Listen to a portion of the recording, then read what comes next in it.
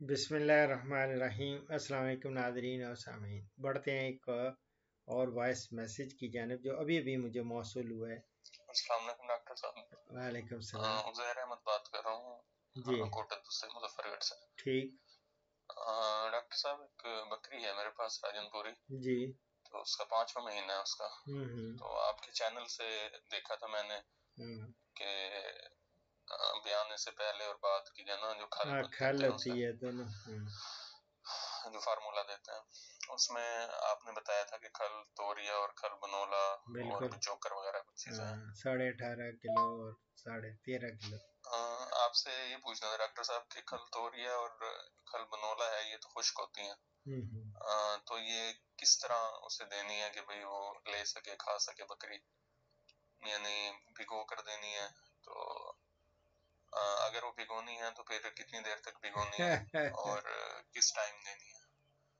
ये तो sir doctor साहब पहले बता दें मेरी जान मैंने वो जो वनडे बनाने का तरीका भी किसी फॉर्म में आप देखेंगे मैं यूट्यूब पे ही बनाया बनाया वो बनाने का तरीका पूरा बताया हुआ है कि किस तरह इन खलों को कूट लेते हैं या पीस लेते हैं या ग्राइंड करके बारीक बारीक कर लेते हैं। और उसके बाद दूसरी अज्जा इसके साथ मिलाते हैं तो वो बिल्कुल वो सख्त उस तरह नहीं रहती। वो खुश्क भी खा लेती हैं, लेकिन अगर भिगोना पड़े, अगर फ़र्ज़ करें, आपने कूटना नहीं, कूटा भी है तो छोटे, थोड़े पीस बड़े हैं या इस तरह तो फिर आप भिगोएँ, सोख करें जिस तरह आप, और आजकल क्योंकि सर्दियाँ आ रही हैं, सर्दियाँ हैं बल्कि आ रही क्या, आज सात तारीख हो गई है दिसंबर की तो मेरी जान उनको गर्म पानी में आप भिगोएँ। ऐसे दो चार घंटे, दो घंटे भी भिगोएँगे तो फ़र्स्ट क्लास वो सोख हो जाएँगी, नरम हो जाएगी तो वो खिला दें बोले बेहतर यह है कि खुश्क इसलिए मैं कहता हूँ कि वो ज़रा थोड़ी आदि हो जाएँगी। आगे बच्चा जन्म देना है ना उसने, बच्चा जन्म देने के एक महीना तक तो मैंने आपको मना कर देना है कि इनको भिगो के नहीं देनी खल।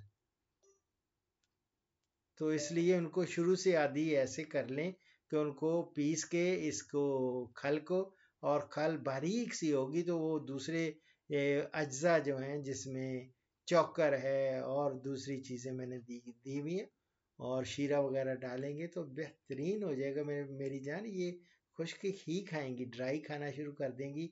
अब आदि होगी तो फिर बाद में आपको फ़र्क, आपको नुकसान नहीं होगा ना, ये बड़ा। और देना कब है? ये सुबह और शाम, दो टाइम ही होता है। ठीक है? वो दो टाइम दें आप इस, इनको।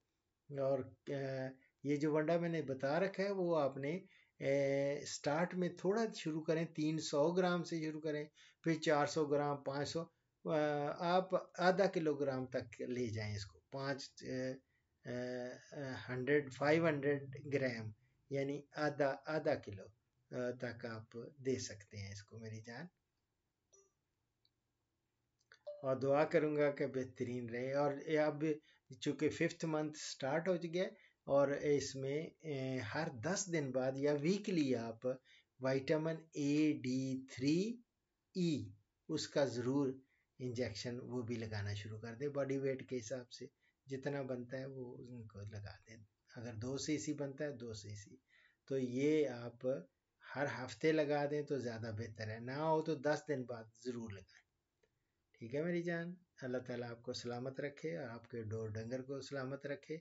आप फ़र्स्ट टाइम आप मेरे साथ ये सवाल कर रहे हैं। ये मैं पहली दफ़ा आपकी ये अकाउंट खोल दिया ऊपर। आपका नाम लिख दिया। मुझे पता चला गया कोटा दो से ये साहब ठीक है? और आइंदा, जब भी वॉइस मैसेज किया करें, बेहतरीन तरीका ये होता है कि हर दफ़ा इंसान अपना नाम और अपनी जगह का नाम बता के क्वेश्चन कर सकता है। जितने मर्ज़ी सवाल करें। ठीक है?